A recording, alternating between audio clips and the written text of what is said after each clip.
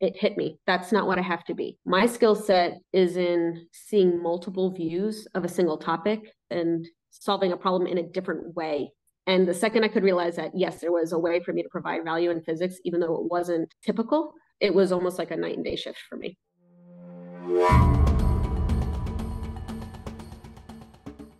Welcome to Physicists in the Wild. My name is Aggie Branczyk. In this series, we chat with physicists who pursued careers outside of academia. In today's episode, we chat with Brigette Oakes, who did her PhD in engineering physics and is now the director of propulsion at Firefly Aerospace. We're a new space company based in Austin, Texas. 600 or so employees doing a whole bunch of launch vehicles, propulsion development. What would you say uh, your typical day looks like? It's probably less technical than I care to admit. So maybe half of my day is kind of technical advisement support, providing feedback. There's probably a design review somewhere in there for an hour. I'm reviewing maybe a components design. Maybe there's a manufacturing readiness review. I probably have a data review or something kind of like post process, whether it's a software review, code review, or we just had a launch recently. And so there's been a lot of data reviews from that. So sitting in that. And then the other half of my day is because I'm in a leadership position on professional growth and development for the team. So I have seven managers that support that team and 65 employees. And so every now and then I am doing a skip level with an employee. So not my direct reports, but someone that's on my team and just having a one-on-one with them. I probably have a, a one-on-one with one of my managers. And then recruiting is a big one. Um, so we had probably about a 30% growth this year because we got another uh, Blue Ghost contract, another launch vehicle contract. So there's probably one or two interviews in there. And then there's probably some scheduling and less glamorous budget types of things or approvals. So, how did you find the transition from being an individual contributor and doing the technical stuff to having a leadership position? So, I may be unique here. I did my doctorate while I was also in industry, and I completed it about two years ago. I've been in leadership for four years now. I don't think I had a large shift when I went to a leadership role when I was initially promoted those first two years. The biggest difference I noted was when the PhD ended. Mm-hmm. I no longer come home and work on code or do something technical, right? I was relying on that. If I wasn't getting that in my leadership role, I was coming home and I was getting it out of my doctorate. And that's part of the reason why I did it. Mm-hmm. So it was a pretty stark change, I'd say, in the last year. That would be the biggest difference for me. I'm an analyst at heart and not being the one that's actually writing the code or writing the analysis report, but rather reviewing and providing feedback was tough because I, I, I enjoy that a lot. Mm-hmm. And your time's your own. Like you could put on headphones and just, you know, there are days I love to just be independent and I'm more introverted, right? So I liked the time, you know, Monday, Tuesday, all day, I could just focus on one thing. Mm-hmm. I'm probably task switching every hour, every day in a leadership role. So that was pretty immediate and I handled that super well that mm-hmm. was probably the most immediate shift and now it's just less of that pure technical stuff that's hard to mm. shift what are your most and least favorite parts of your job the rewarding days for me when i come home from work are going to be where i saw the team succeed and being part of whatever that professional development was giving them those engineering projects and letting go of the leash enough for someone to fail on their own but give them the tools to to get back up talking with employees and seeing where they want to go and trying to find those opportunities, give them that experience, but not handing it to them in this cookie cutter approach that says, go and do this thing. Precisely here are the rules, which maybe more physicists want. That's a part that's rewarding for me. And maybe the least favorite part is I think in anything, you're going to find some amount of politics when people need certain tools to do their job better and we don't have access to those or I can't readily hand that to someone or I'm blocked by something that hurts much worse for me. If I can't help someone else succeed and they're depending on me, that's a harder thing to come home to at the end of the day than when I was doing my doctorate and I couldn't get a section of my code to run. Mm-hmm. Like just two completely different senses of defeat, but the weight that I carry with me on the, the second half of that just carries a, a larger toll on me. So that, that part sucks.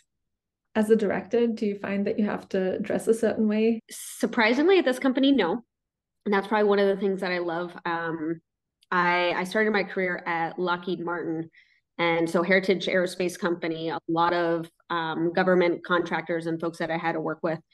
And it was a professional business attire. So for me, that meant a lot of skirts and A line skirts that for men, they cinch your legs together, heels, jackets. Um, and your hair was always done. I actually had pink streaks in my hair at the time, and I was told to take those out. Mm-hmm. Um, and I thought that was typical. And so I kind of got used to it, but never really felt comfortable. Another reason is I always sit cross legged, as you can tell. And so being confined in clothes that are more tight fitting or skirts or things like that that wasn't allowed for me but new space industry the culture in the office is much more flexible mm-hmm. and i like that a lot but i would say firefly specifically i'm in leadership now and i don't feel like that bar is higher for being a director versus an individual contributor and I just I feel comfortable being my authentic self in the office. So beanie cap, comfortable pants, sitting cross-legged, tank tops all the time. Yeah, that's definitely been a, a huge privilege in my job that I didn't really realize was something I appreciated as much as I do until mm. working here. Let's step back a little bit. You did a master's at the Perimeter Institute for Theoretical Physics, so that's pretty theoretical. And you were already doing aerospace before you did mm-hmm. the master's. What made you want to go into this very theoretical side of things? So, right before Perimeter, I was at Lockheed. I knew I didn't really like it too much. It was aerospace. The math was interesting. It was in a field I'd studied for for four years, but it was slow paced. I didn't feel like I could push the boundaries, ask questions, be creative. You just kind of had to follow what they told you. So I started looking for other opportunities. Um, I started a master's program with Stanford because I had a school program. So I was like, maybe I'll find something over there. It didn't quite satiate that need. And then I found two programs uh, that I could do in two weeks. I wasn't sure what I wanted to do, but I knew Lockheed wasn't it. Mm-hmm. And one was astrobiology in Hawaii, and one was theoretical physics in Utrecht in the Netherlands. Mm-hmm. And they were back to back. So I took like four weeks off, went to Hawaii, and flew halfway across the world, went to the Netherlands, and I was hooked. As soon as I was, I did that like intro into theoretical physics, and I actually saw a flyer for Perimeter coincidentally. I decided that's exactly where I wanted to be. And before I was even accepted to Perimeter, and you know, that's not an easy school to get into, but I quit my job. I was like, I knew that's what I wanted to do. It didn't matter matter if I got into that school, that was just going to be my new path. How was your experience doing the theoretical physics masters? Um, tough.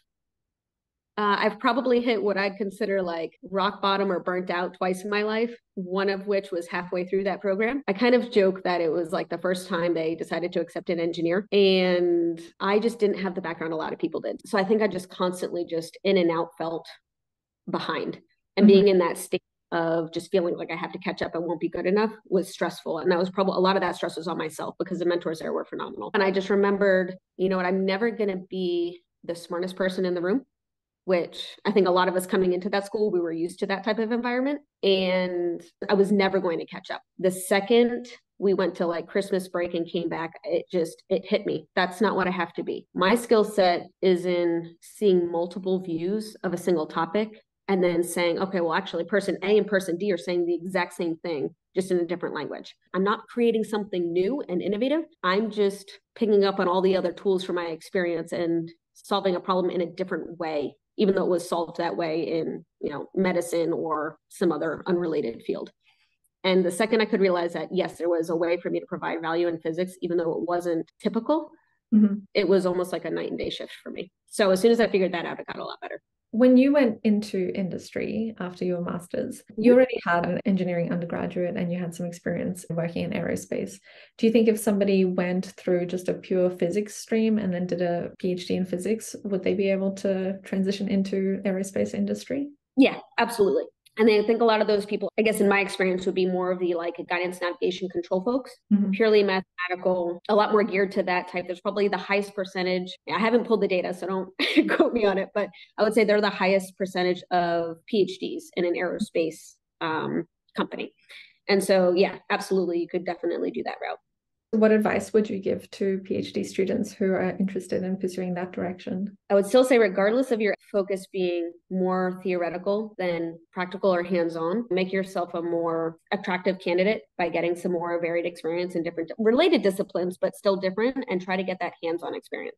Do you have a hobby that you like? I've had people that have interviewed that there's one guy that absolutely loved like composite technology but never built anything and he was a unicyclist So he made his own carbon fiber. He designed it, built his own carbon fiber unicycle. That's hands on. Do you do pottery? Do you do, uh, someone else loved ceramics, so built mm-hmm. several mugs, cups. It's really strong in compressive force, right? So he drove up his pickup truck on four cups that he built. And if his truck didn't fall, he said, okay, that passes. That type of passion, like your experimental method, right? Like you're a creative engineer, you want to solve problems and you went and you built something and set up a test to go prove it out. Those are the things I want to hear in an interview. You don't have to go the typical route, at least for me. A typical route would be like find a mentor, find experience, do an internship. Those mm-hmm. all definitely work as well. Are there any skills that you learned in your PhD that are applicable to your job? How to write in LaTeX. You use that um, now? I do. Wow. Um, it's actually a requirement to, to generate analysis reports at work. That was a skill that was underappreciated. And I think if you have it, you can just do things a lot faster. I even write my PowerPoint presentations in it. That's a silly one to mention, but that was the first one on the top of my head. I think you're the first so, person who's ever mentioned that. I need to type quickly. And that is maybe I write too many PowerPoint presentations um, or or reports. I'm already a quick typer, but if I can type as quickly as I can write equations, um, that's really powerful for me. I don't like to waste a lot of time. And then software and programming in general. Um, I don't think I appreciated it as much. I don't use it a lot in my job. Say it's 10% of my job or 5% of my job, but I'm much more efficient at it than I find the majority of other people. And having that software skill as a backstop or something I can fall onto pretty quickly is incredibly powerful. I think there's just like a lot I learned in why code is set up and structured in a certain way that I learned from doing a lot of numerical methods mm-hmm. in academia that I undervalued at the time and really appreciate right now.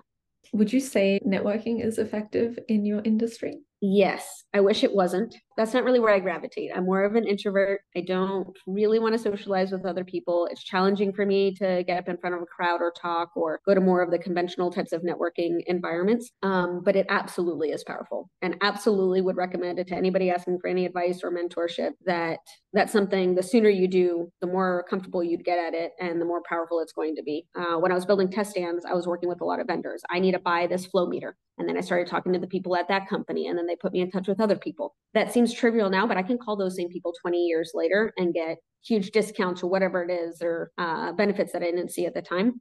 And it got me comfortable talking to a lot of people initially on the phone or in areas that I was better with. I'm not talking to a crowd of people in person. Mm-hmm. And then just building on that and conferences or network events, getting yourself out of your comfort zone. Even if you're not talking, go to each of the booths, practice talking to people and making those relationships is going to help a ton. Mm-hmm. And do it when you don't think it necessarily matters, right? Where you don't think there's as much weight or cost and practice early. So by the time it might matter more for your job, it's second nature to you. That's fantastic advice.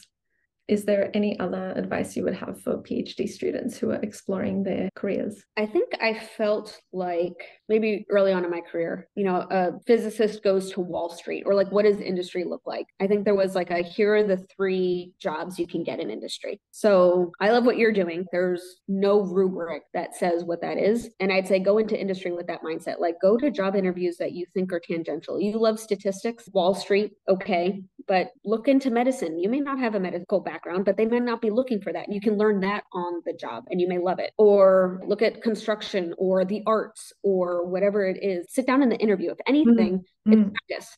It's practice for whatever the real job is that you want, right? Right. But you know, at its core, mathematics and physics specifically, I think have such a far-reaching application that we don't utilize enough. And I think those are the game changers. You have someone in one industry going and completely upending another industry because they have a completely unique perspective. Try to avoid picturing what you think that dream job is, especially if you're not sure. But so the biggest piece of advice would be maybe pick five companies to go interview at, not just one or two, and try to make a couple of those a different industry. Some people I think are still unsure, you know, five years later, is this really what I want to do? But if you at least dipped your toe in the water and tried the six other things, you at least have a sense of, okay, I'm more confident now. This is the right place. Thank you so much, Brigette. It was really wonderful to talk to you. You too. Thank you so much for having me. A hyena seems chaotic to me, and I don't love chaos, but I respect it they don't seem like they fit in with anything else. They have spots, they have stripes, they have like this weird ratio of head size to body size. and the fact that they don't like fit in this cookie cutter mold, I also like. And they travel in a pack. I may be introverted and like my time alone, but I wouldn't be where I am today if I didn't have a solid foundation of maybe five people.